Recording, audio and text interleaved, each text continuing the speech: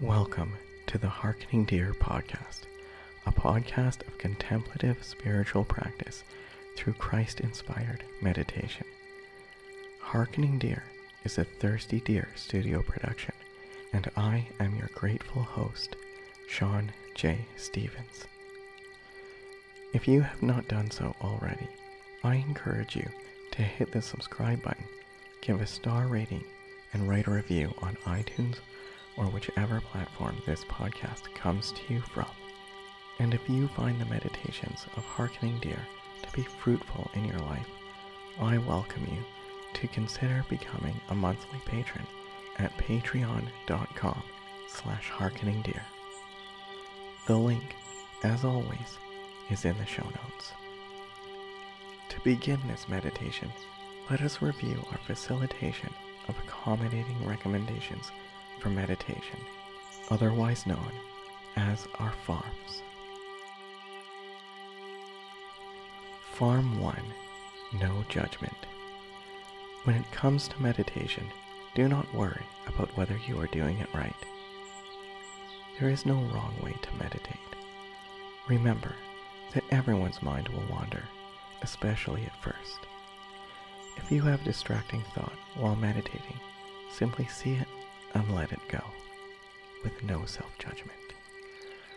Farm 2. Be still and know that Yahweh is God. Calm your spirit, relax your body, and still your mind. Know that Yahweh is one, and that Yahweh is for you, not against you. I invite you, if you find it helpful, to close your eyes and get comfortable. Be still. Farm 3. Embrace a heart, mind, and spirit of peace, joy, and redemptive love.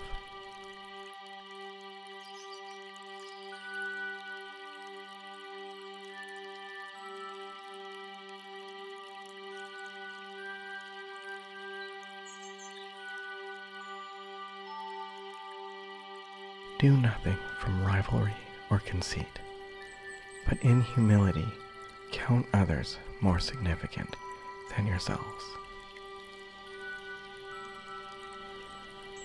Do nothing from rivalry or conceit.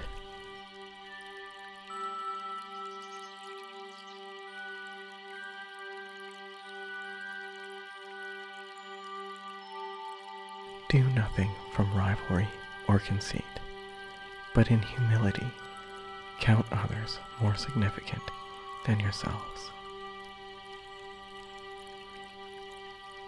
Do nothing from rivalry or conceit, but in humility count others more significant than yourselves. Sometimes this can be a difficult message. Sometimes we do not have a high enough opinion of ourselves. And sometimes we get taken advantage of as a result. But I believe that if everyone applied this philosophy to their thoughts, words, and actions, no one would get taken advantage of.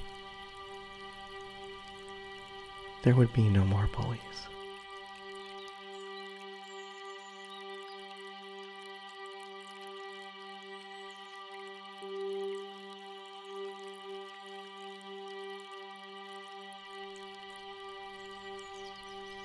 And let us view this scripture in light of having compassion for those in the world less fortunate than ourselves.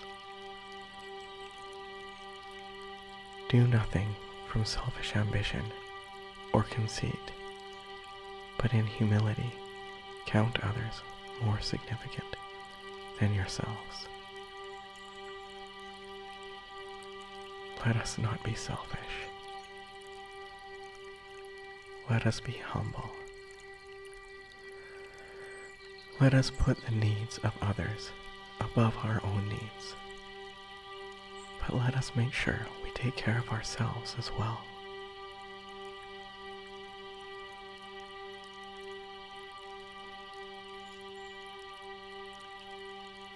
And let us do what we can to make sure those less fortunate than us are taken care of as well.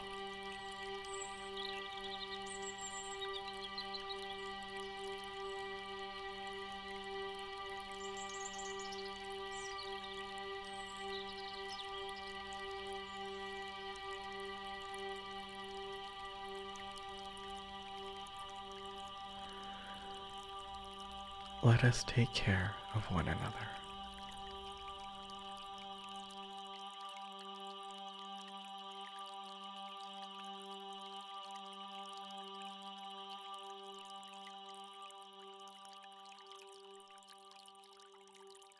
Let us take care of one another.